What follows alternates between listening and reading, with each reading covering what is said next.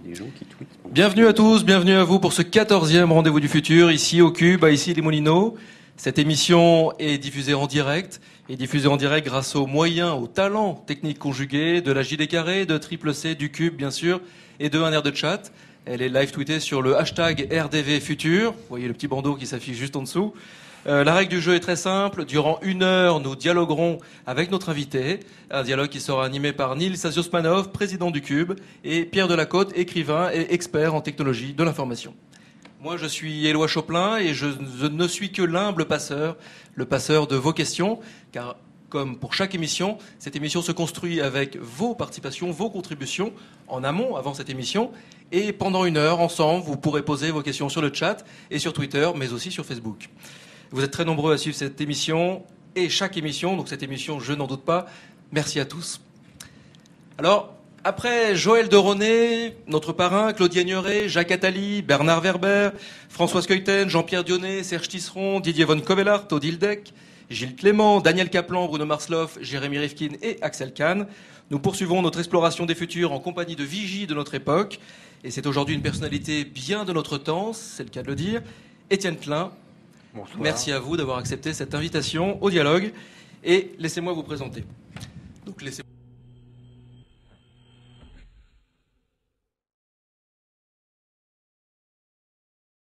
philosophie à Centrale Paris. Homme de la frontière, Étienne Klein pense et écrit sur la ligne qui sépare et qui réunit la philosophie et la physique, euh, partisan notamment d'une transmission différente des savoirs.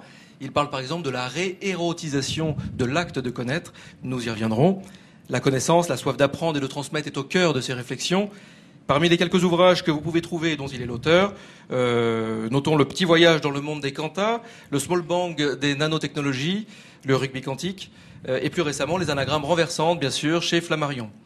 Alors, avant de démarrer ce, grand dialogue qui va durer une petite heure, je m'octroie le privilège, messieurs, de la première question. Euh, et qui n'est pas forcément une question, je vais juste vous demander de revenir sur ce que vous avez voulu dire par la réérotisation de l'acte de connaître. Ah, c'est simplement que j'avais lu euh, lors d'un voyage en train le magazine TGV Magazine et j'étais tombé sur euh, une interview de Jean Rochefort, le comédien, à qui on demandait ce qu'il pensait du fait que euh, beaucoup de jeunes souhaitaient désormais faire du théâtre. Alors que nous, dans les sciences, nous observons que les jeunes sont de moins en moins attirés par les sciences dures. Et il avait répondu que si aujourd'hui un enfant de la bourgeoisie vient trouver son père en lui disant Papa, je veux faire centrale, le père lui dira Non, mon fils, tu feras le cours Florent. Et donc je m'étais interrogé sur le fait que, en quelques décennies, même peut-être moins qu'une décennie, notre appétit pour les savoirs scientifiques a, semble-t-il, euh, légèrement décru. Et je pensais donc qu'il fallait réérotiser l'acte de connaître pour que notre libido sciendi, notre désir de comprendre le monde physique, par exemple, soit réactivé. Ce qui supposait d'inventer sans doute de nouvelles pédagogies, puisqu'on voit bien que les anciennes ne fonctionnent plus, et on voit aussi que les nouvelles n'ont pas brillé par leur efficacité. Et donc, il y a une réflexion à faire sur euh, la bonne manière de transmettre les connaissances lorsqu'elles ne sont pas directement visibles par le biais des images, par exemple, et qu'elles demandent un peu de concentration, un peu de patience, un peu d'effort aussi. C'est ces, connaissances-là qui sont celles de la science d'aujourd'hui, qui sont très difficiles à transmettre aujourd'hui, sans doute plus qu'avant. Travail de longue haleine. Nils Alors j'avais une première question. Euh, bonsoir, euh, Bonsoir. Merci beaucoup d'être avec nous. J'avais une première question, mais j'ai quand même envie de rebondir tout de suite sur euh, celle de, des lois et votre réponse. Euh, est-ce que vous, ne pensez pas que justement euh, l'apport du numérique euh, dans la transmission de la connaissance peut amener une dimension ludique, pas juste pour le jeu, hein, mais dans la manière d'aborder la connaissance qui justement peut être intéressante? Enfin, C'est un domaine dans lequel je ne suis pas compétent, mais je n'observe pas que le numérique, pour l'instant, ait révolutionné la connaissance intime des personnes. Je veux dire par là que sans doute moi, je, parle à partir de mes étudiants. C'est eux qui sont mon laboratoire. Et je vois qu'ils savent beaucoup plus de choses euh, que les gens de ma génération au même âge. Simplement, euh, ils ont un mal euh, fou à se concentrer. Ils ont besoin de voir les choses bouger.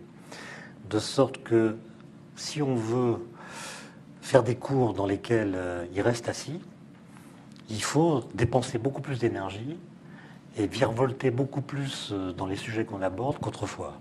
Autrement dit, j'ai l'impression que les nouveaux médias sont tellement attirants, attractifs, rapides, mobiles, qu'ils ont changé notre rapport à l'écrit, à l'image.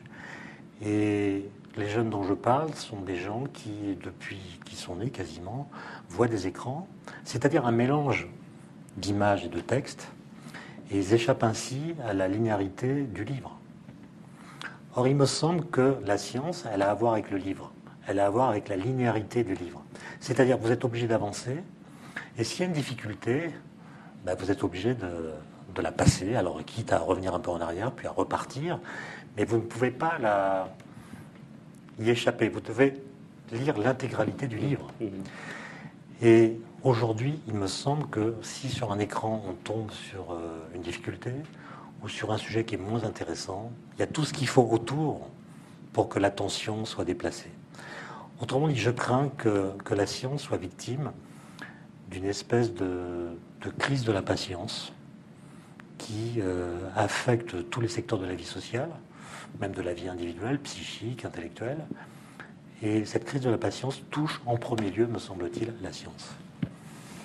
Alors, je vais passer à ma première question, donc, euh, qui est, euh, en fait, on a un petit rituel aussi. Ici, à chaque fois, on commence par euh, une citation qui a à voir avec le futur et qui sert de première question. Alors, j'ai choisi, pas du tout par hasard, une citation de Albert Einstein qui dit Je ne pense jamais au futur, il viendra bien assez vite. Alors, ma question est toute simple. quel est votre rapport à vous au futur et peut-être plus largement au temps? Bon, moi je commencerai par une autre citation, si vous permettez, qui est celle du chat, qui disait Dans le passé, il y avait beaucoup plus de futur qu'aujourd'hui. Ce qui est un truisme.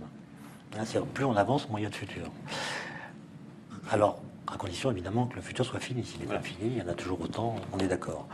Simplement, je pense que le futur est évidemment plein de promesses, mais il est aussi euh, pourvoyeur d'angoisse par le fait qu'il n'est pas configuré. Au sens où j'imagine que nous sommes à peu près tous, sauf vous, de la même génération. Désolé. Et vous vous souvenez que lorsque nous étions adolescents, nous lisions des magazines pour adolescents, Tintin, Spirou, euh, Pilote, etc. Pour moi, c'était les années 70. Et dans ces années-là, l'an 2000 était un objet ou un sujet de discours permanent. L'an 2000 était configuré, il était dessiné on nous expliquait comment on se déplacerait en l'an 2000, comment on mangerait en l'an 2000, comment on travaillerait en l'an 2000, comment on communiquerait en l'an 2000. Il y a une espèce de prospective permanente qui faisait que même si ces prospectives étaient en grande partie fausses, enfin elles se sont révélées fausses par la suite, elles nous familiarisaient avec le avec l'avenir en le configurant. Et euh, aujourd'hui, j'ai l'impression que les ressorts de la prédiction se sont cassés, Peut-être parce que la société est devenue liquide, il n'y a plus d'assises fermes sur lesquelles on puisse asseoir des prédictions pour le long terme, de sorte que 2050 n'est pas configuré. 2100, j'en parle même pas. Et quand on essaie de le faire par de la prospective scientifique, sur le climat par exemple, ou sur les ressources en énergie, on est plutôt inquiet. Et donc on fait un mouvement de recul qui fait que nous nous concentrons sur le présent, ce qui a pour effet que le court terme est privilégié par rapport au long terme, et, les grands problèmes ne sont pas traités. Du coup, l'angoisse qu'il ne le soit pas augmente, ce qui fait que nous avons un rapport euh, avec le futur qui me semble devenir euh, légèrement schizophrène. C'est-à-dire à la fois, on, on, attend de s'y accomplir en bénéficiant de tout ce que les nouvelles technologies nous promettent. Et on se dit que si on se débrouille bien dans le futur, on va pouvoir vivre beaucoup mieux qu'aujourd'hui. Et en même temps, on voit bien que c'est aussi un lieu incertain, qui peut être euh, un lieu de catastrophe. D'ailleurs, moi, j'observe que, je ne veux pas trop parler de mon enfance, mais quand j'étais lycéen, euh, tous les matins, il y a un type qui me distribuait un tract dans lequel on, me proposait une image du futur qui était tellement attractive et tellement crédible qu'on m'incitait à agir dans le présent pour que ce futur désirable devienne réel. Donc on m'incitait en gros à faire la révolution. Et aujourd'hui, on nous propose des images du futur qui sont suffisamment crédibles et suffisamment répulsives pour qu'on se batte dans le présent afin d'éviter que ce futur advienne. Autrement dit, en une génération, la figure de la révolution a été remplacée par la figure de la catastrophe. Et ça, c'est quand même un reversement qu'il faut réfléchir, qu'il faut méditer, qu'il faut peut-être combattre, parce qu'on ne peut pas demander euh, aux jeunes de s'épanouir dans un monde où la catastrophe a remplacé la révolution. Je ne dis pas qu'il faut faire la révolution, mais il faudrait qu'on pense peut-être autrement la catastrophe. Alors la, deuxième partie de ma question, qui est corollaire, à celle du temps, vous en doutez, c'est celle de l'espace. Euh, on sait que le monde est devenu plat, qu'il n'a plus de centre, la babélisation de la connaissance, les phénomènes de réseaux sociaux, les technologies ubiquitaires, la réalité augmentée, que sais-je encore, tout ça, est-ce que tout ça ne prépare pas l'imaginaire collectif euh, à une vision plus, plus systémique ou organique du monde? Euh, par exemple, on voit les thématiques sur la biosphère qui, montent beaucoup en ce moment. Euh, et est-ce que ça ne nous prépare pas à une nouvelle perception de l'espace, de nouvelles dimensions de l'espace, et pourquoi pas même à, des nouvelles découvertes euh, dans le domaine de la recherche bon, C'est une question compliquée. Hein Mais je vais répondre de deux façons. La première, c'est de dire que ces nouvelles technologies qui, effectivement, nous montrent une forme de mondialisation, d'uniformisation du rapport justement à la technique, euh, par Internet et toutes ces choses que vous avez évoquées. Je voyais une enquête cette semaine qui, montre que ceux qui consomment le plus de ces nouvelles technologies disent souffrir de la solitude. Autrement dit, c'est pas parce qu'on a beaucoup d'amis sur Facebook qu'on est euh, entouré au sens où des amis, des vrais amis, peuvent vous entourer quand vous n'allez pas bien. Et l'autre chose, c'est que euh, vous savez ce qu'on appelle la modernité, c'est le fait qu'on découvre que le monde est infini. Galilée découvre en quelque sorte que le monde est infini. Et aujourd'hui, on fait la découverte que le monde en réalité est fini. Mais la finitude qu'on découvre, c'est pas la finitude des anciens, c'est-à-dire d'avant Galilée.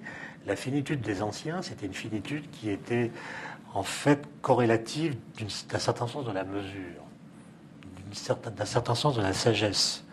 On ne peut pas désirer infiniment, il faut savoir cantonner ses désirs mm. dans le domaine du sage ou du raisonnable. Et puis, euh, écrit un livre sur le passage du monde clos au monde infini avec Galilée. C'est ce qu'on appelle la modernité, dans laquelle va se développer la science moderne, etc.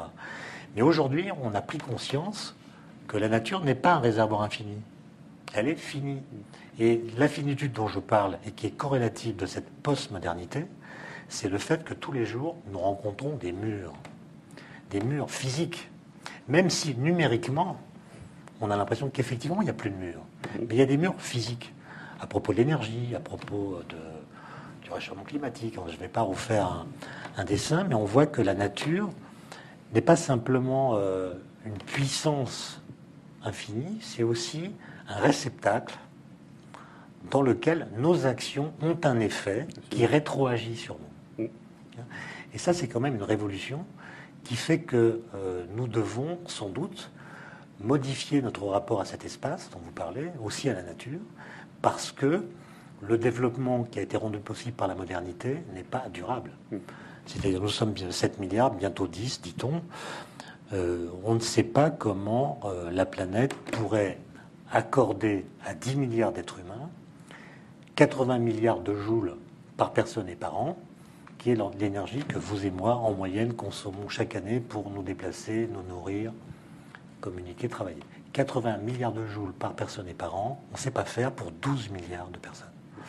Or, l'idée de progrès telle qu'elle était pensée par les, par les, par les, philosophes, les philosophes des Lumières, ou bien les, les pères fondateurs de cette idée de progrès, c'était que les progrès allaient devoir bénéficier presque mécaniquement au genre humain.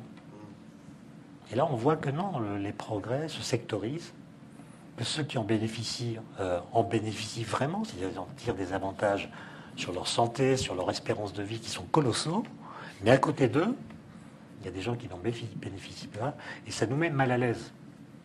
Ça nous met mal à l'aise de constater que l'humanité n'est pas homogène du point de vue des bénéfices qu'on peut tirer du progrès.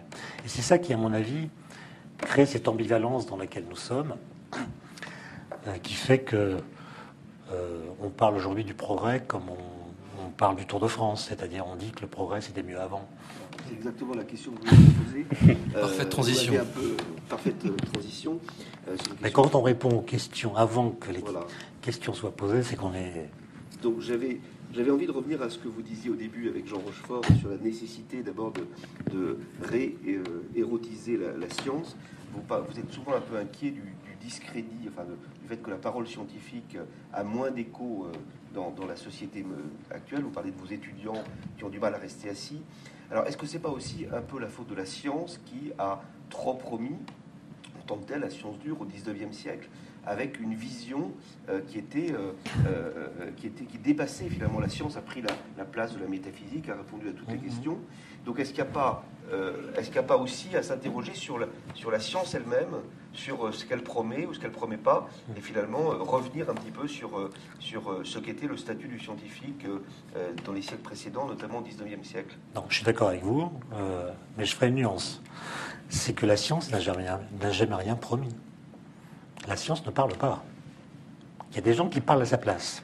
Et qui, effectivement, au XIXe siècle, notamment à la fin, ceux qu'on appelle les scientistes ont promis que la science permettrait de répondre à toutes les questions que nous nous posons.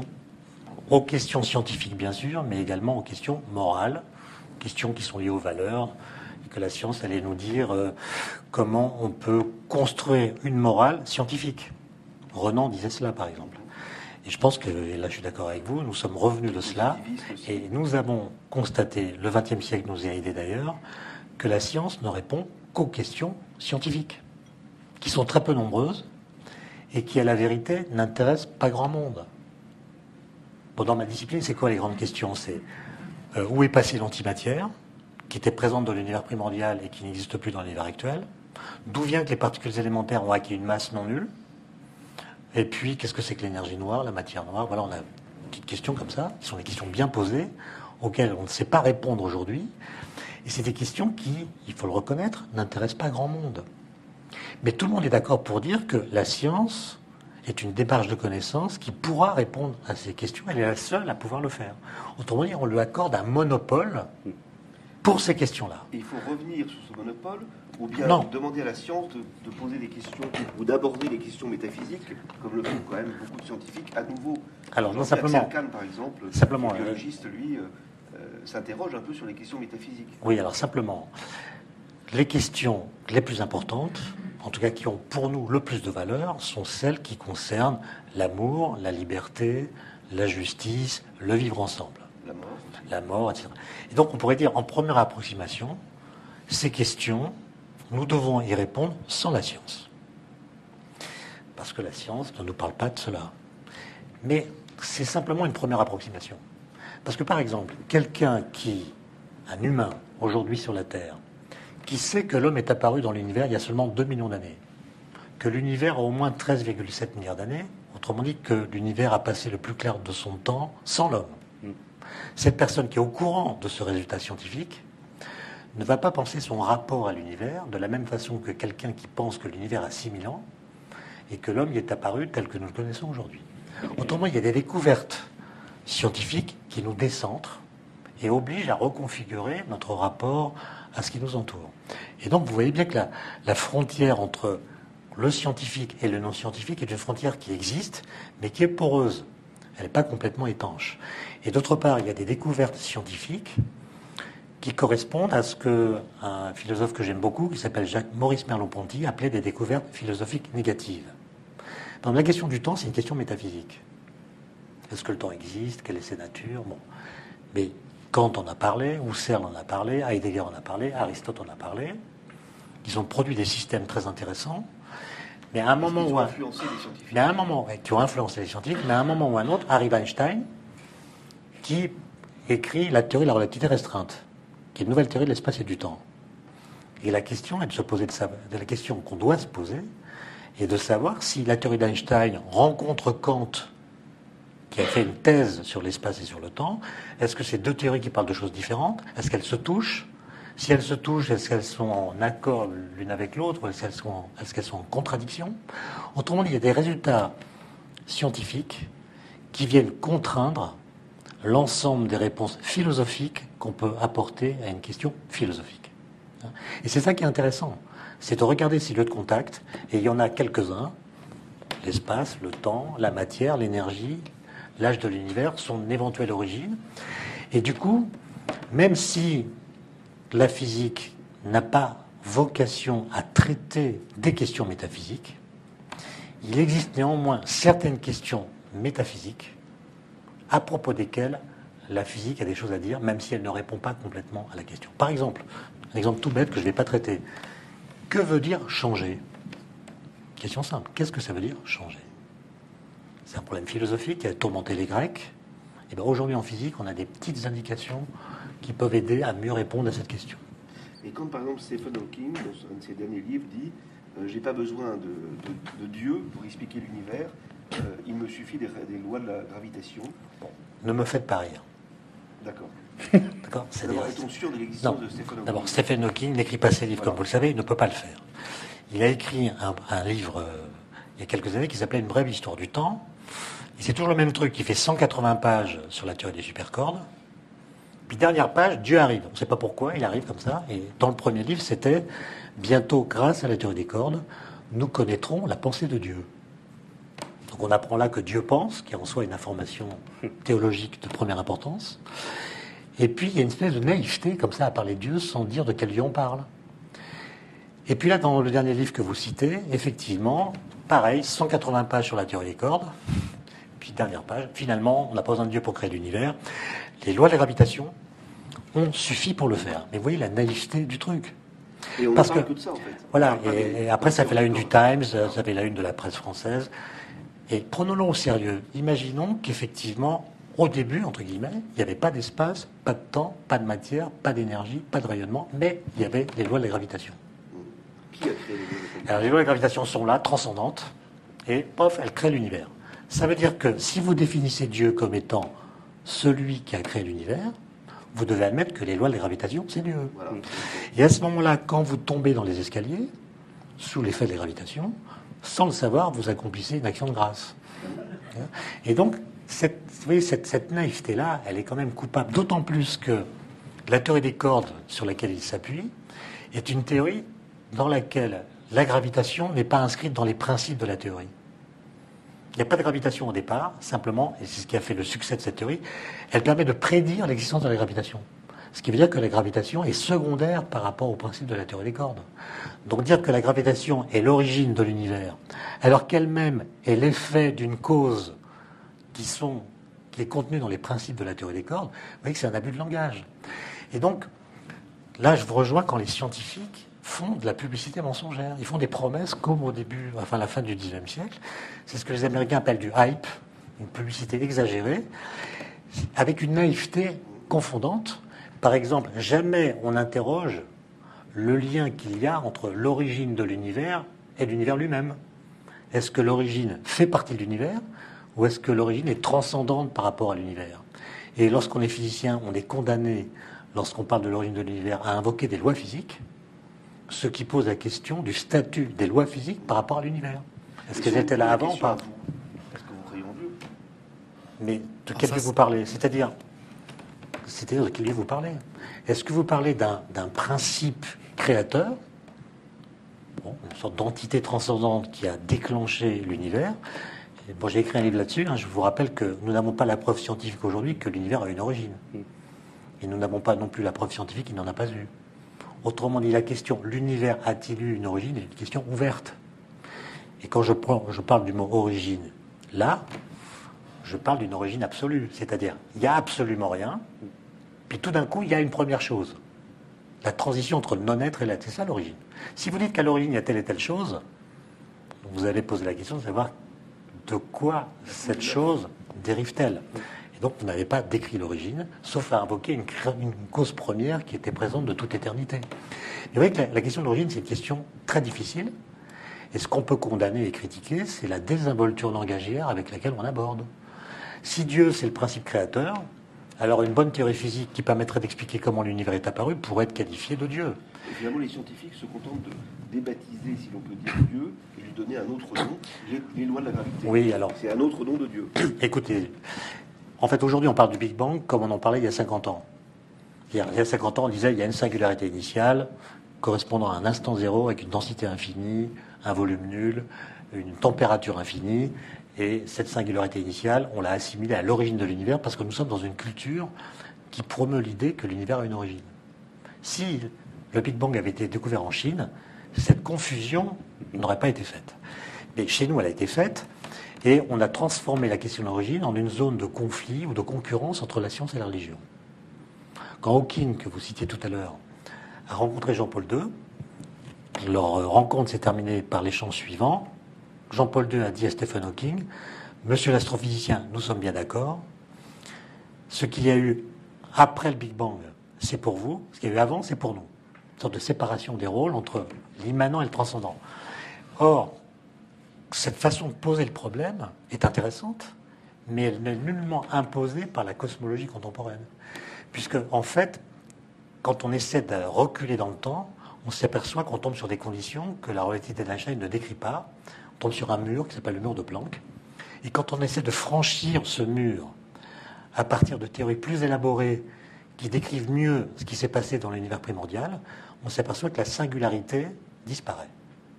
Et l'instant zéro disparaît avec. En tout cas, il passe un seul quart d'heure. Et que la lecture qu'on peut faire aujourd'hui de ce qu'on appelle le Big Bang est complètement modifiée. Ça n'est plus l'explosion originelle qui a engendré tout ce qui existe, l'espace, le temps, la matière, etc. C'est une transition de phase entre un univers d'avant et l'univers actuel qui est en expansion. Et donc, on n'est plus dans la description de l'origine. Et, je ne sais pas pourquoi, aujourd'hui, on continue à parler du Big Bang comme on en parlait il y a 50 ans, alors que son statut épistémologique a complètement changé. vous dites que si vous étiez chinois, vous ne verriez pas les choses de la même manière, vous ne parleriez pas d'origine. Oui, parce que les Chinois ne se sont jamais intéressés à la question de l'origine de l'univers, parce que pour eux, cette question n'a aucun sens.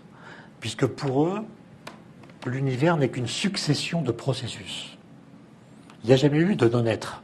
Il y a toujours eu quelque chose qui évolue.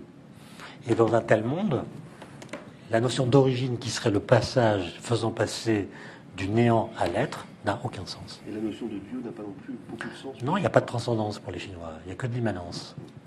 Je vous propose juste un petit jeu pardon de vous interrompre, un petit jeu euh, proposé plutôt par Axel Kahn, qui était notre invité dans une émission précédente, et qui vous, qui vous lance un petit défi, qui vous propose de jouer avec lui sur une petite, euh, une petite touche de prospective.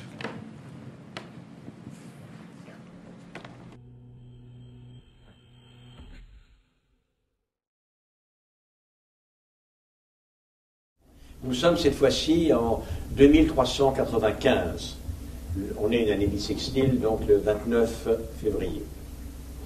L'homme a été profondément transformé par la bionique, par la médecine, par les cyborgs, par l'adaptation à la modification du climat, etc.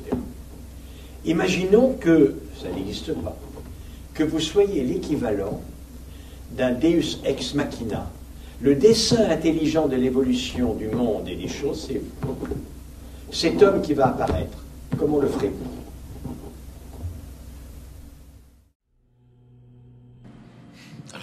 Comment le ferez-vous? C'est 2300 combien? 2395, euh, année bissextile, 29 septembre. Vous êtes Dieu, comment faites-vous l'homme? C'est-à-dire comment, en tant que Dieu, je résiste aux modifications euh, imposées par l'homme ou par l'environnement, c'est ça? Ça peut être une question. Ça mérite réflexion. ah, ben voilà comment je répondrais. Euh, il y a eu un livre publié en 1958 l'année de ma naissance, écrit par Hannah Arendt, qui s'appelle La condition de l'homme moderne. En fait, le titre américain, c'est La condition humaine, mais le titre ayant déjà été pris par Malraux, il a été traduit sous le titre La condition de l'homme moderne. Et elle pose dans ce livre des questions qui rejoignent celles d'Axel Kahn. Elle dit ceci La technologie euh, modifie les conditions de vie humaines, nos façons de travailler, de nous déplacer, d'échanger, etc. Mais, deuxième question, est-ce qu'elle modifie aussi la condition humaine? Pas les conditions de vie humaine, mais la condition humaine, c'est-à-dire le rapport à autrui, le rapport à la vie, le rapport à la mort. Et elle se demande s'il n'y a pas là une affaire de seuil, c'est-à-dire est-ce qu'à force de modifier les conditions de vie humaine, on ne va pas modifier la condition humaine Le transhumanisme. Voilà. Et si on la modifie, est-ce que cette modification concerne tout le monde ou pas? Donc, si j'étais un dieu ex machina, je veillerais à ce qu'il n'y ait pas de clivage dans l'humanité. C'est-à-dire qu'il n'y ait pas d'un côté les post-humains qui bénéficieraient de toutes les technologies, et puis d'autres à côté qui n'en bénéficieraient pas. Il y aurait donc des post-humains et des homo sapiens, parce que je me dis que s'il y a deux populations hétérogènes du point de vue du rapport à la technique qui cohabitent, eh bien, il y aura par exemple des post-humains qui. La question que je pose, c'est est-ce que les post-humains diront nous sommes des post-humains et rien de ce qui est humain ne nous est étranger Ou est-ce qu'ils diront nous sommes des post-humains et les homo sapiens sont des tarés? Je ne me fais pas trop d'illusions sur la réponse qu'ils apporteront à cette question s'il n'y a pas un Deus ex machina qui vient régler le système. moi, je voudrais faire un petit retour vers le futur pour prolonger euh, cette euh, réflexion. Euh, les des, scientifiques, effectivement, qui sont sur les théories post-humanistes, parlent d'une forme de singularité qui n'a rien à voir avec la singularité initiale, une forme de singularité à venir qui est en fait qui serait issue de la convergence des NBIC, comme on dit, c'est-à-dire nanotechnologie, biotechnologie, les technologies de l'information, de la communication et les sciences cognitives. Euh, et il situe ça à quelques décennies, hein, on n'est pas dans, 300 ans, euh, et que donc ça ouvrirait une nouvelle ère, l'ère de, effectivement du cyborg, de l'homme symbiotique, euh, de la fusion homme-machine. alors, un, comment vous réagissez du point de vue du scientifique à cette vision euh, en même temps la science va faire de spectaculaires avancées, indéniablement, et où du point de vue philosophique, on passerait euh, du, de, l'homme fils de Dieu, entre guillemets, quel qu'il soit, à l'homme fils de l'homme. Et si je prolonge un petit peu plus, on peut dire, là, si on écoute par exemple des gens comme Joël de Ronet qui parlent de, du, réseau des réseaux qui à un moment donné prendra conscience de lui-même, eh ben, euh, là on sera carrément dans Dieu fils de l'homme. C'est-à-dire qu'on aura complètement renversé la chaîne euh, on sera passé de, de, Dieu qui crée l'homme à euh, l'homme fils de l'homme. Bon, ça, c'est une perspective qu'on peut envisager, mais on peut aussi imaginer que dans ce long chemin que vous décrivez, car il sera très long, il puisse y avoir des cassures. Mhm. Des ruptures, soit dans la technique qui est moins prometteuse que ce qu'on imagine, soit parce que l'humanité va être euh, agitée par des tensions colossales. Mhm. Moi, je m'inquiète quand même de la variété sur cette planète des espérances de vie en fonction de la consommation en énergie des populations. Hein, c'est quand même un indice incroyable qui n'existait pas auparavant, où il y a des endroits où l'espérance de vie c'est 85 ans et d'autres où c'est 42 ans. Haïti, par exemple, 42 ans. Je suis allé en Haïti il n'y a pas longtemps, et avant le tremblement de terre, et j'ai, au bout de trois jours, je me suis dit, tiens, c'est quand même bizarre ce pays, il y a un truc bizarre parlais pas du chaos, je ne parlais pas de l'extrême pauvreté qu'on y découvre. Mais je me dis, il y a un truc différent d'ailleurs, mais je n'ai pas encore réussi à l'identifier. Puis au bout de 4-5 jours, j'ai trouvé. Ça faisait 4-5 jours que je n'avais pas vu un seul vieillard. Il y a des, comme ça des populations sans vieillards. Alors que chez nous, c'est plutôt l'inverse qui se produit. Et je me demande si euh, ça va pouvoir cohabiter de façon cohérente. Et vous pensez qu'on peut aller jusqu'à une prise de pouvoir euh, des machines, comme, le pense euh, quelqu'un comme De ben, J'en suis pas tout à fait sûr. je pense que vous parliez de publicité tout à l'heure. Si vous lisez le rapport américain de 2002 sur les nanotechnologies, rédigé par Rocco et Benbridge, en fait, ces gens ont réactivé le mythe du progrès à la mode du 19e siècle. En disant finalement, on a compris qu'au 20e siècle, il y a eu des erreurs, des errances, des déceptions, des trahisons.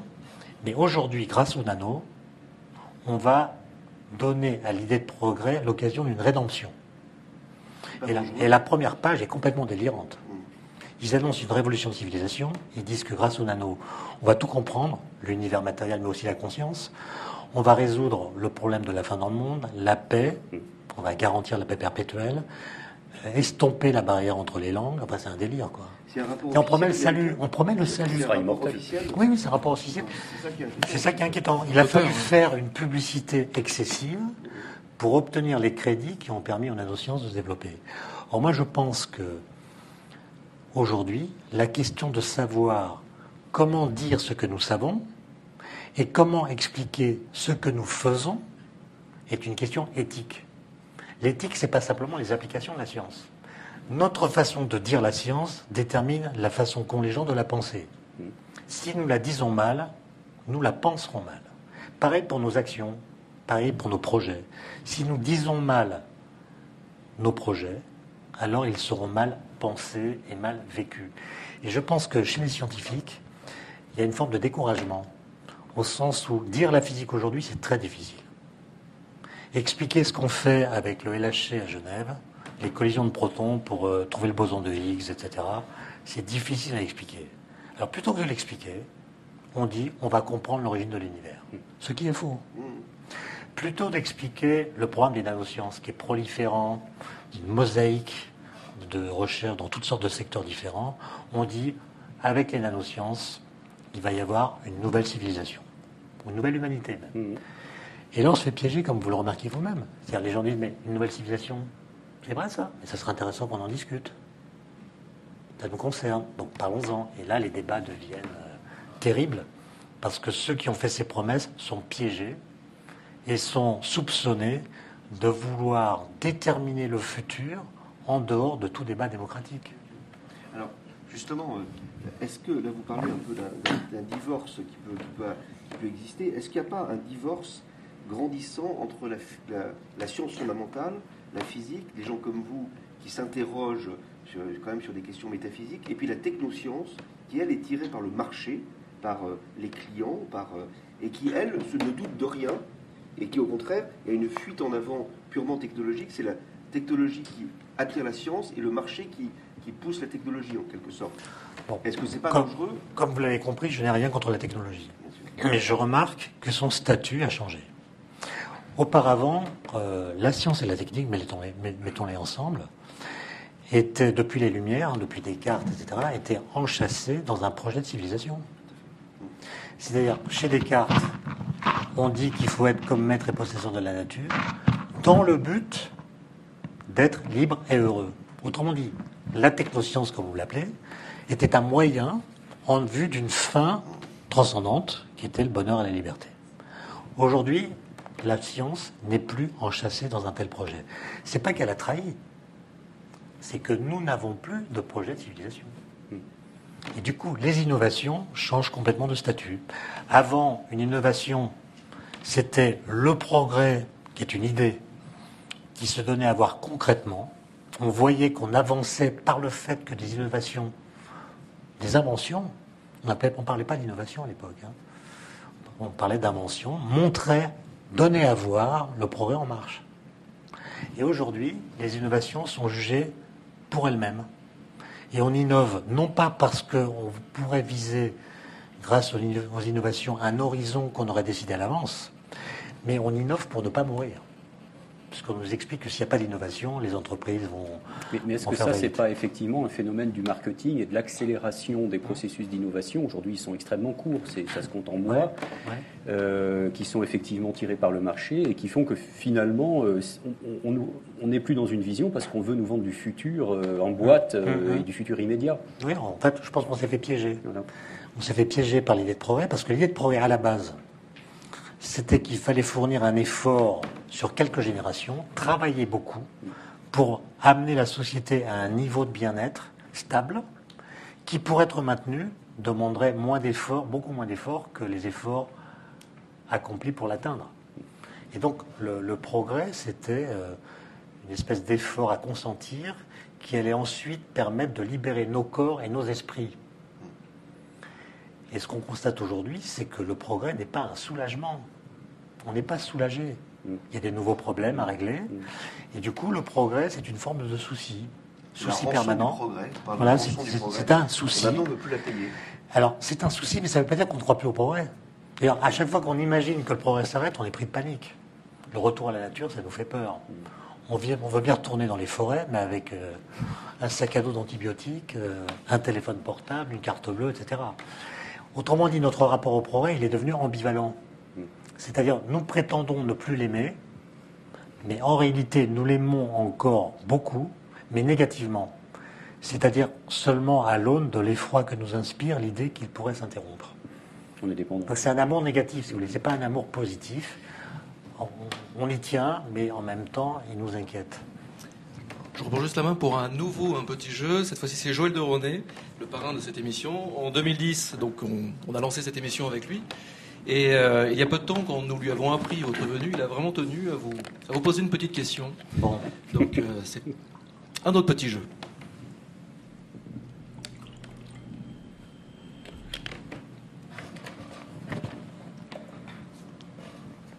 Mon cher Étienne, bravo pour ton magnifique livre sur les anagrammes que j'ai adoré. Et aussi bravo pour tout ton travail sur le temps. Le temps séquentiel, sur la durée, le temps linéaire, les instants. On retrouve euh, du Bergson, on retrouve euh, beaucoup d'autres théoriciens du temps, euh, d'Einstein à à Darwin et la durée de l'évolution. Donc ma question, elle poserait sur ce que j'appellerais les anagrammes du temps, si tu permets. Nous vivons dans un flux continu de temps qui s'écoule, comme une phrase dans un livre que tu décortiques en changeant les mots. La durée est faite d'instants. Comment faire l'anagramme du temps pour que certains instants à l'intérieur de nos vies soient plus porteurs que d'autres, à la fois pour les vivre et à la fois pour communiquer et à la fois pour enseigner?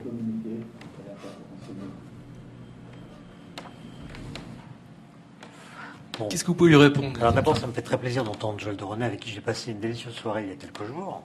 Il ne m'avait pas annoncé qu'il me piégerait par une question difficile. Alors, c'était trop facile. Moi, je pense que euh, une façon de répondre, parce qu'en fait, il y a plusieurs façons de traiter la question qu'il pose, mais une façon de répondre consiste à dire ceci.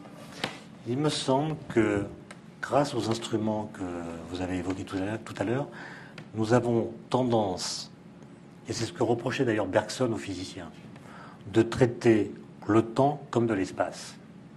C'est-à-dire de dire que finalement, le temps est déployé comme il l'est dans nos calepins, et qu'en fait, les moments du futur existent déjà, ils attendent simplement qu'on arrive, et quand on sera arrivé à eux, on dira c'est aujourd'hui et non pas c'est demain.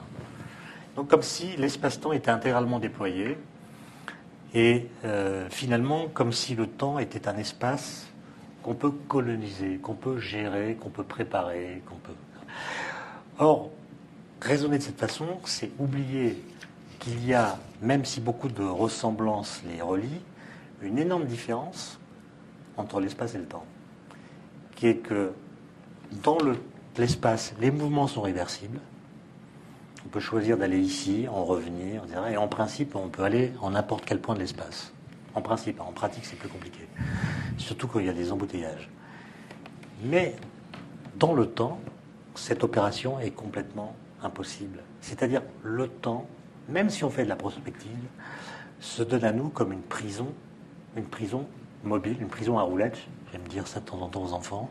C'est-à-dire, nous ne choisissons pas notre position dans le temps, nous ne pouvons pas voyager dans le temps et nous sommes condamnés à suivre le cours du temps.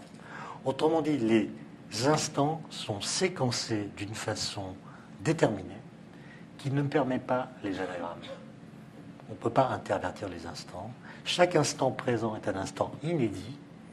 Il a le même statut que tous les autres instants, mais sa place n'est pas convertible en la place d'un autre instant.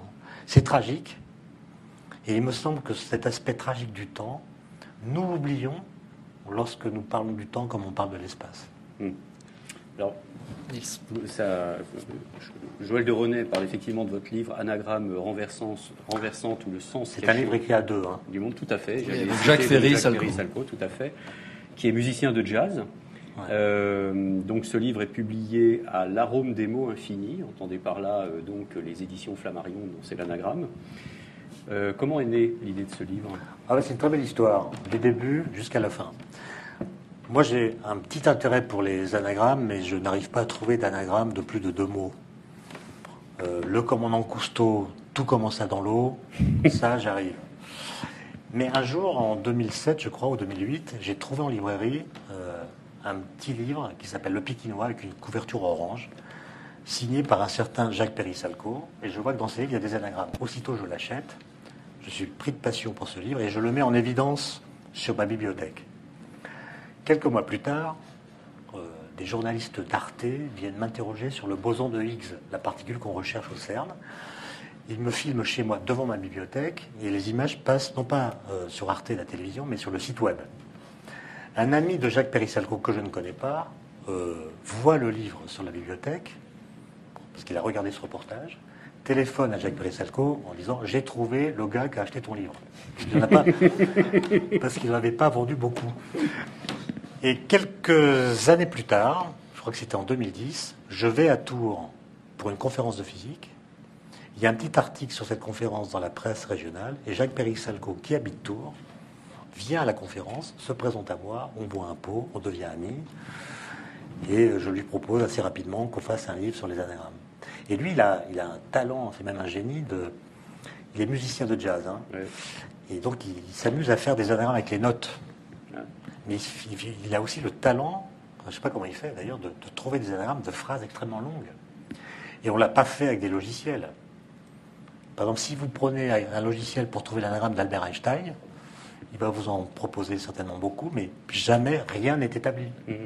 Qui est l'anagramme euh, la plus forte évidemment, parce que le, le logiciel ne comprend pas le sens des mots, les, les apostrophes, etc.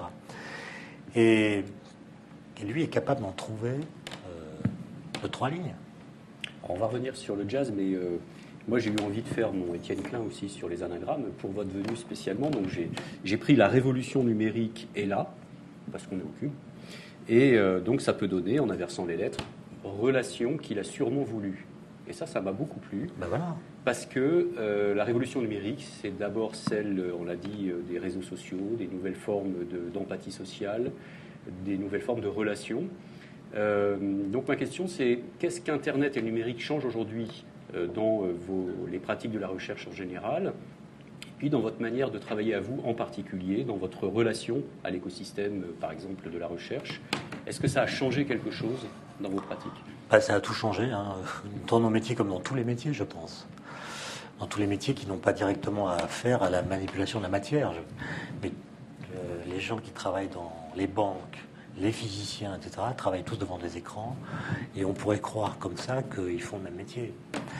Non, je pense qu'Internet, euh, pour commencer par lui, euh, a évidemment changé le métier de physicien de façon radicale par la communication, par le fait que les données nous arrivent directement. Mais nous avons, à l'égard de cet instrument, euh, un rapport ambivalent.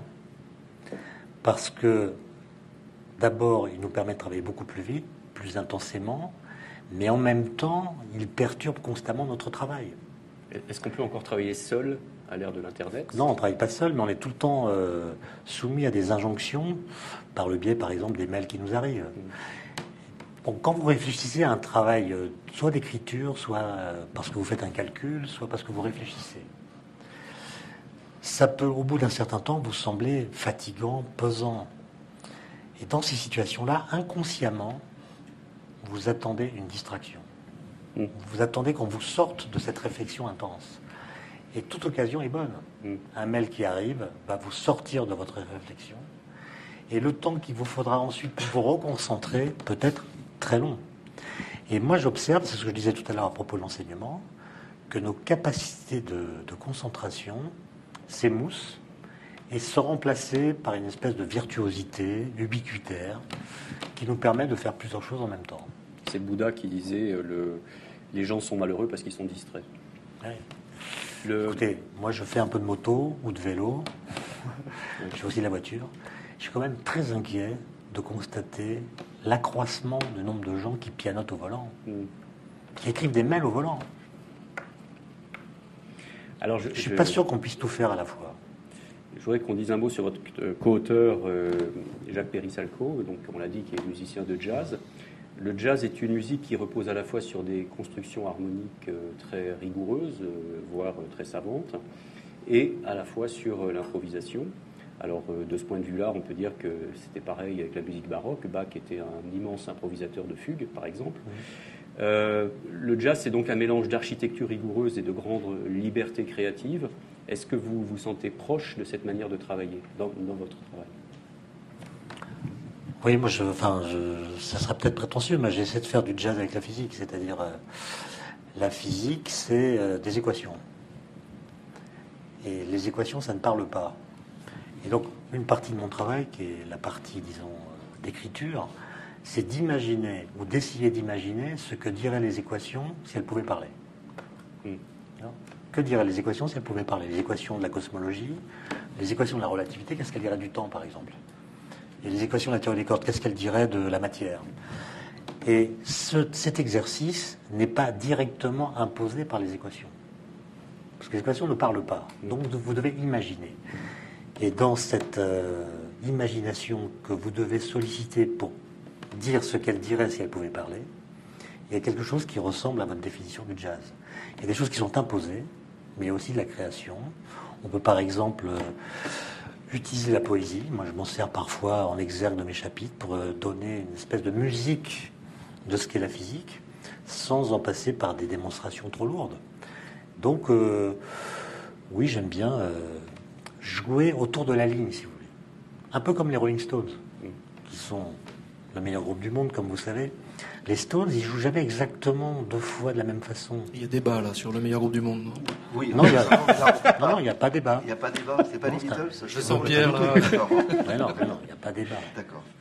il faut être sérieux, c'est une émission du soir, on est sérieux. On ne peut pas dire que les Beatles sont meilleurs que les Stones. La musique, très bien pour la musique, quand j'entendais Nils, je pensais à quelqu'un, justement, j'avais envie de vous, de vous poser une question sur le seul scientifique que moi, le modeste littéraire, j'arrive vraiment à à peu près à comprendre, mais en me trompant certainement, c'est Prigogine.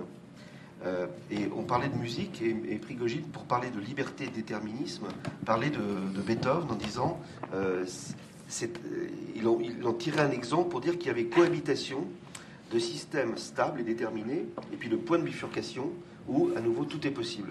Et il voyait ça dans la matière, et ce qui est plus intéressant, et là on retombe sur l'idée de, de progrès, c'est qu'il le voit aussi dans l'histoire, et il dit par exemple que euh, la Révolution française peut être un point de bifurcation, puis ensuite il y a une forme de déterminisme, et il y a, euh, par exemple, la chute du mur de Berlin et autres phénomènes autour qui représentent un autre point de bifurcation.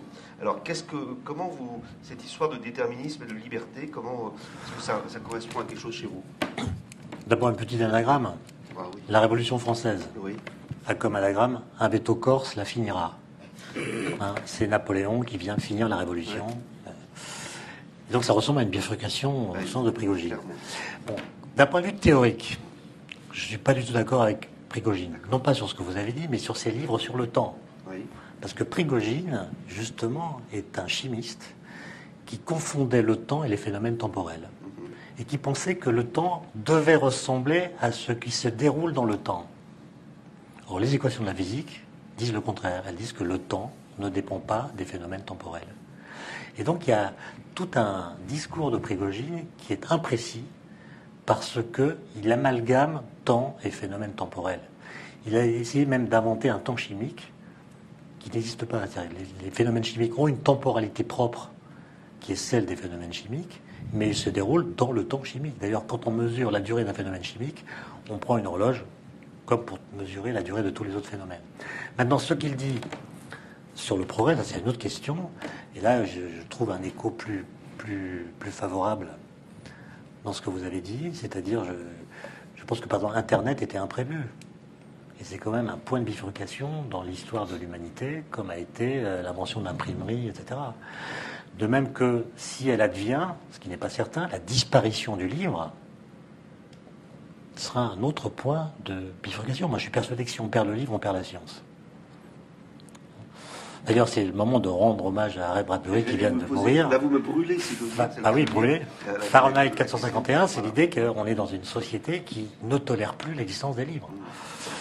Et, je ne suis pas très inquiet, mais je constate que mes étudiants ne lisent plus de livres.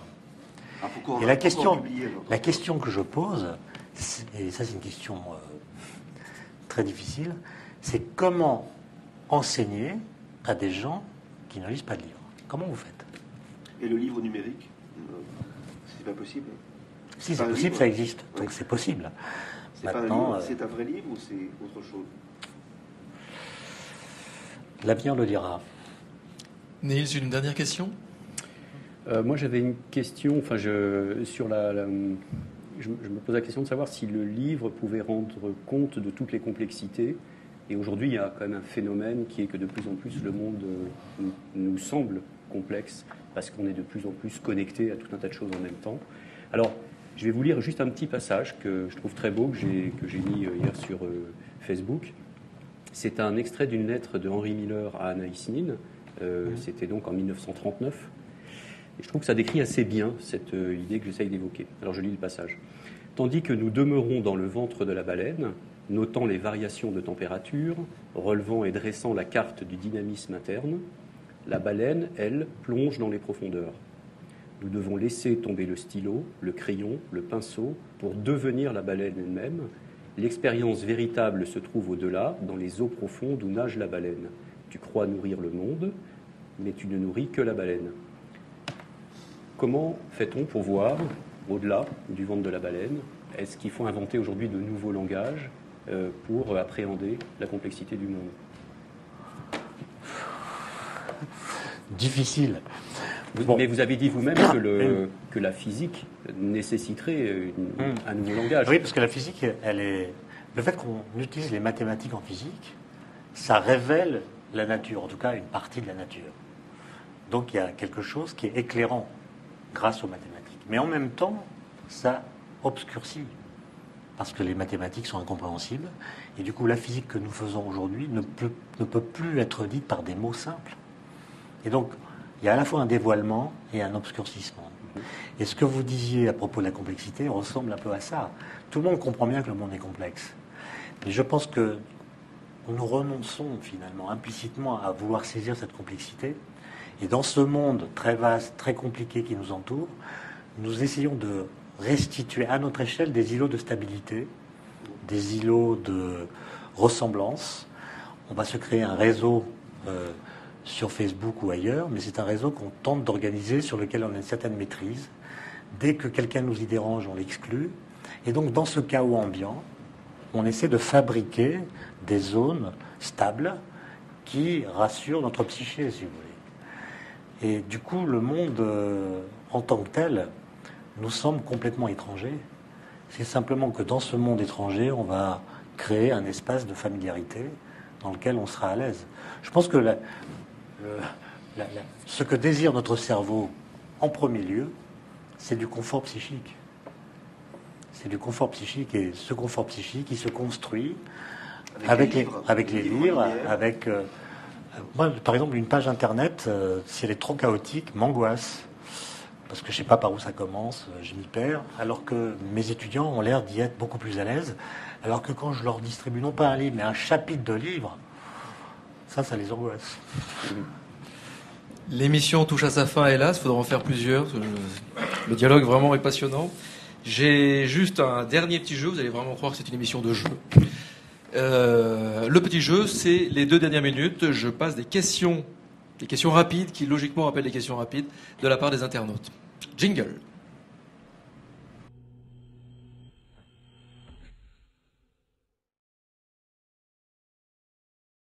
Je prends une, euh, une première question, une question d'Amélie. Euh, en philo, il y a des familles de pensée. Est-ce que vous avez trouvé la vôtre? Ah non, moi j'en ai plusieurs. J'ai... Ça peut pas être simple. Non, non, c'est-à-dire j'ai, quelques amis philosophes et aucun d'eux ne sait que je suis ami avec les autres. C'est-à-dire j'ai, j'ai cloisonné tout ça parce que je trouve qu'il y a des choses à prendre chez chacun d'eux, même s'ils développent des systèmes qui sont mutuellement incohérents. Donc c'est pas comme sur Facebook. Où on- Non. Là, là, vous avez vraiment cloisonné. Une question de Maya. Euh, Maya sur le chat. Qu'apporte la philosophie dans la vision du nucléaire dans cette époque post-Fukushima? La philosophie. Euh, Paul Valéry, qui était un philosophe d'une certaine façon, disait L'homme sait souvent ce qu'il fait, mais il ne sait jamais ce que fait ce qu'il fait. Ça peut s'appliquer à Fukushima. Ça peut s'appliquer à Fukushima et à notre ère de. Faut des De réponses brèves, hein, c'est ça? C'est des réponses brèves. Ce sont des réponses brèves. Et toute dernière question. Il est 20h29. Nous, nous tenons l'horaire. Toute dernière question. Une question de Maxou. Quel est le rôle du scientifique dans l'époque que nous vivons, euh, celle du pouvoir de la peur et des experts de la catastrophe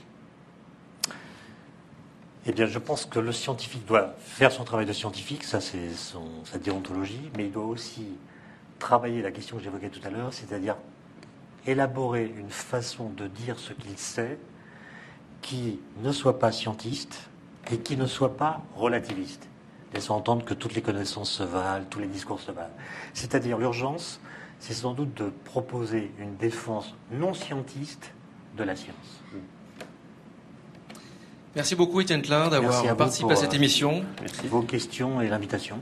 Merci messieurs, cette émission est maintenant terminée. Merci à la JD Carré, Triple C, un air de chat et le Cube évidemment. Euh, merci également à Axel Kahn et Joël de Ronet de s'être prêtés au jeu de cette émission. Euh, merci à nos partenariats, à nos partenariats. Ce sont des partenariats à nos partenaires médias avec qui nous avons monté des partenariats. Sun Sun Sun, Nabu et Arte Créative.